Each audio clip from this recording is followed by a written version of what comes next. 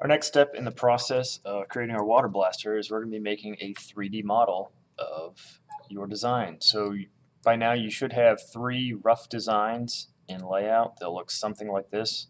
Remember you need all the parts labeled. You should have your rough dimensions and everything. This is just the sample that was taken from the YouTube tutorial and I will use this one right here to create our little model. So what we're going to be doing is using this program right here called Inventor. It's a 3D modeling program, or you may also see it called a CAD program, CAD. So CAD stands for Computer Aided Design. And what that is, is we're going to be making a 3D model in the computer to very tight specifications. So that way, if you want to change your design or anything later on, it's very easy just to change a couple of numbers, change a couple of clicks and everything, instead of if you were doing it in real life, you would have to completely create a whole new one. So to open up Inventor, it's right here on your desktop. It says Autodesk Inventor Professional, or you go to your Start menu. If you just type in Inventor,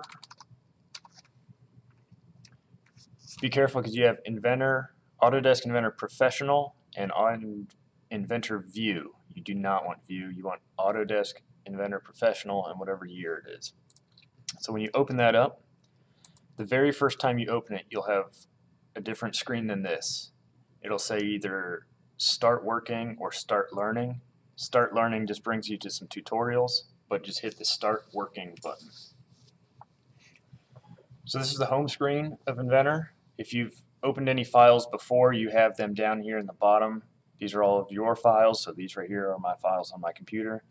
Then up here you have some new parts, assemblies, drawings, and presentations. So very first thing we're going to do is we're going to create our own single piece of PVC pipe. So what you're going to do is you're actually going to go up here to new, just click on it, and here you have some templates. So if you're working in inches, over here you want to use English. If you're working in millimeters, you want to use metric. So if I click that, I get different things right here. Over here, right here, I have four different files I can create. I can create a part, which will make just a single piece, like a piece of PVC pipe or one of the elbows. I have an assembly, where I will take multiple parts and put them all together. I have drawing, where I can make a technical drawing of it or a parts list. We'll be doing that. And then there's a presentation. So for this project, our water blasters will be making a part, an assembly, and a drawing. We will not be making a presentation. So let's start out by making our piece of PVC pipe. Let's go to part. Remember, make sure you have English, part, and a standard part in inches. Go ahead, hit create. So it brings you to a blank screen right here.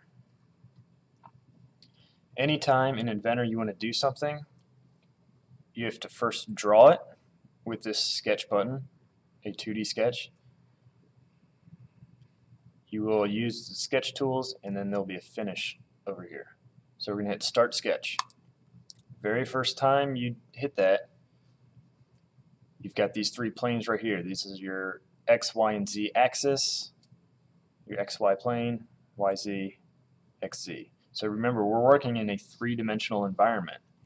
So we have to worry about our X, our Y, and our Z axis here.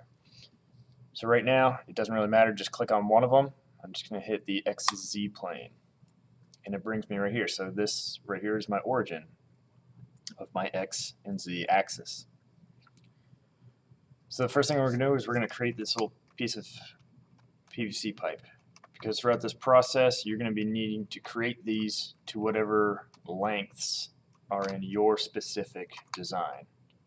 So we're going to learn how to make one, and then you can adapt it as needed.